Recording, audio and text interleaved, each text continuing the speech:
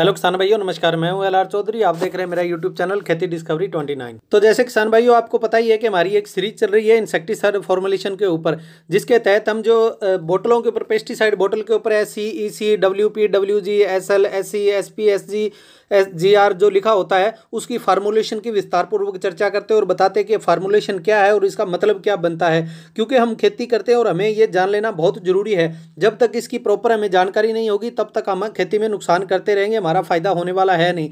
पूरी जानकारी होने के साथ हम इसका पूरा पूरा फ़ायदा व लाभ ले सकते हैं। बहुत बार देखते हैं कि हम दवाइयों का खेत में छिड़काव करते हैं, लेकिन कुछ दो तीन जब केमिकल्स मिक्स कर देते हैं तो हमें कई बार रिज़ल्ट नहीं आता, कई बार हमारा नुकसान भी हो जाता है और उसका जो नुकसान होने की जो वजह है, हम कंपनी या टेक्निकल को मानते हैं। इसलिए इसकी विस्तारपूर्वक जानकारी लेनी हमारे लिए बहुत ज़रूरी हो जाती है। तो ऑलरेडी हम तीन फार्मुलेशन पे वीडियो बना चुके हैं part one E part two S part three S और आज जो वीडियो चल रही है, ये पार्ट फोर है डब्ल्यू तो किसान भाई आज बात करेंगे पार्ट फोर की यानी कि इंसेक्टिसाइड फॉर्मुलेशन डब्ल्यू की।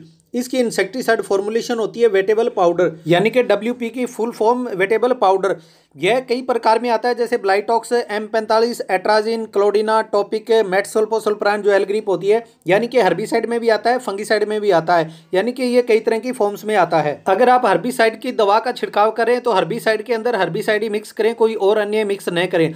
अगर फंगीसाइड करें तो फंगीसाइड के अंदर और कीट नियंत्रण करने वाली या कोई फंगीसाइड मिक्स कर सकते हैं। यह पाउडर फॉर्म में आता है, लेकिन महीन पाउडर नहीं होता छोटे छोटे कण होते हैं। हर्बीसाइड जो होता है, उसका रिज़ल्ट फास्ट नहीं होता, उसका रिज़ल्ट सात से आठ दिन बाद देखने को मिलता है और जो फंगी साइड होता है, उसका रिज़ल्ट फास्ट आ जाता है। यह घुलनशील होता है, थोड़ा टाइम लेता है घुलने के अंदर, एक से दो मिनट, लेकिन बहुत आसानी से घुल जाता है। इसे पानी के अंदर डायरेक्ट नहीं डालना चाहिए, यानी कि किसी अलग पैमाने में लेके इसे अच्छी तरह किसी डंडे या सोटी से अच्छी तरह मिक्स कर लेना चाहिए, हिला के, उसके बाद ही पानी करने वाले ड्रम या ड्रमी ढोलकी के अंदर डालें। डायरेक्ट डालने से कई बार घुलता नहीं है, नीचे बैठ जाता है, इसलिए अच्छी तरह मिक्स करके घोल बनाने के बाद ही छिड़काव करना चाहिए। एक चीज़ का ध्यान और जब भी इसकी दवाई का छिड़काव करें तो ज़मीन के अंदर एक नमी होनी चाहिए, यानी कि कुछ दिनों का पानी लगा ज़रूर हो।